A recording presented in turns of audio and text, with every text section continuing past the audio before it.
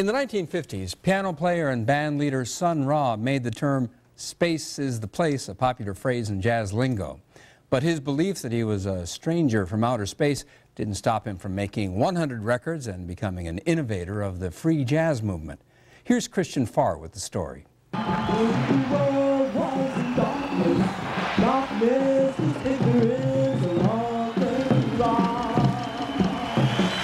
It has been said that wherever you go in jazz, Sun Ra has been there and left. This video is from a 1981 soundstage performance by the legendary Sun Ra and his orchestra at the Chicago Jazz Festival in Grant Park. 25 years later, materials from the time Ra spent in Chicago are on display at the Hyde Park Arts Center. Some call me Mr. Rock. Some call me Mr. Rock. Others call me Mystery. You can call me Mr. Mystery. The things that he was doing 25 years ago are still having trouble being accepted by some people today. Sun Ra was a band leader, piano player, and uh, composer. He was uh, responsible for the first electronic instruments used in jazz. He was interested in free improvisation and in modal jazz long before that was something that anyone else was experimenting with. In the early 1950s, Herman Sonny Blount left traditional jazz in his hometown of Birmingham. He traveled to Chicago, performing his new style in Southside nightclubs. Blount's deep interest in Egyptology and other religions led him to change his name to Sun Ra, Members of his orchestra wore colorful, glistening outfits that were a combination of African garb and outer space suits. The deeper aspect of the space connection for Sun Ra really had to do with African American identity. I mean, he looked at, at the question of being African American and being cut off from your own history that, uh, beyond uh, slavery as being equivalent to being alien, being alienated. In the 1959 film The Cry of Jazz, Sun Ra and orchestra provides the soundtrack for this cinematic essay on the politics of music and race. Through spirituals, through the blues, then through jazz, we made a memory of our past and a promise of all to come.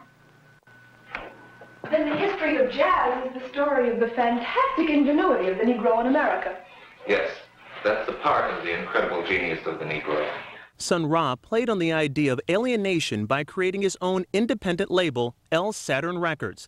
With the help of band manager Alton Abraham, Ra designed his album covers. Creating his own music and persona became a way of life for Sun Ra and influential to many artists who came after him. Sun Ra was considered like mostly uh, a strange guy. Although brilliant, everybody recognized that no one could play on, or write on his level. Musician Phil Cohran played trumpet in the Sun Ra Orchestra in Chicago in the late 50s. After Sun Ra moved to New York in 1961, Cohran co-founded the Association for the Advancement of Creative Musicians, or the AACM, an organization that credits Sun Ra as a major influence in its devotion to composing original music. He'd go to the 10 cent store and get a Buck Rogers hat with a whirring light on it or something, you know. And he'd just write a song for it and put his hat on, you know. that was what helped me more than anything else, is the fact that Sun Ra didn't have any borders in his mind. There were no limits in any direction. Sun Ra died in 1993. He left a social and creative impact. Members of the Sun Ra Orchestra continue to tour globally. Musicians like Chicago and Ken Vandermark still play his songs. And Ra's legacy has inspired some of the most popular music in today's culture. Ra was very concerned that Americans had lost sight of the vital importance that beauty and culture have for them as living beings. He was formulating what he hoped would be an antidote to that. He's not a marginal or eccentric figure. He's a central figure to American culture.